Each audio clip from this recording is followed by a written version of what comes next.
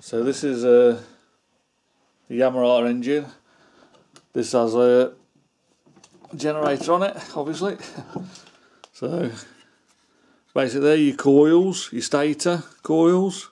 And that's your flywheel and it's got magnet magnets inside of it so that when it rotates the magnetic field rotates with it. So to create electricity you need to have a rotating magnetic field that's cutting across coils or the coils cutting across the magnetic field. So that movement creates or induces electricity in the copper coils. And that's basically how it works, just a magnetic field with the copper conductors cutting that magnetic field induces current within the windings. Obviously this it's AC current and that's regulated and rectified to 14 volts DC via the regulator that's on your bike. So that is it really, just that rotates creating electricity in the coils which is then sent to your regulator rectifier to change it from AC to DC and to hold it down to 14 volts so that it charges your 12 volt battery. This one is a three phase generator. It's got three wires on it. It's got three wires on it for each of the phases.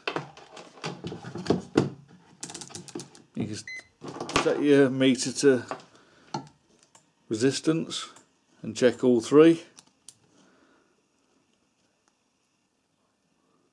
The, this connector's a bit worn, that was 0.9. That's 0.4. 0.12, sorry, 1.2, 1.4 and 0.9. So they're a little bit out, but I'd say it's just to do with that connector being worn. Really, should be equal readings. I'll try them from the back.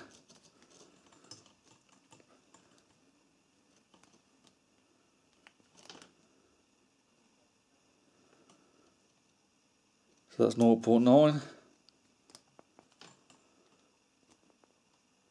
0.7 and 0.67 so yeah pretty much equal all of them then you've got your pickup coil can test that for resistance as well.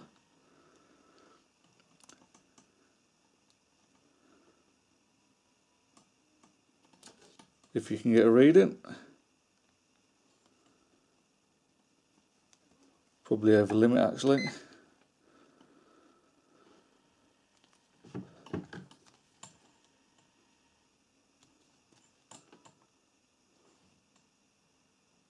So I've got to get a reading off the pickup coil so it might be damaged. I'll just test it here actually. So 265 ohms, so looks pretty good. So that's a three phase sort of generated one. I have got another one here. This is just two phases. Got two wires coming off it. So obviously you test between the both yellows on this one and this one has got a if you look at it all the cores are similar except for that one. And that one generates the power for your spark. So on this type of bike if this fails your bike won't start. On this one it will.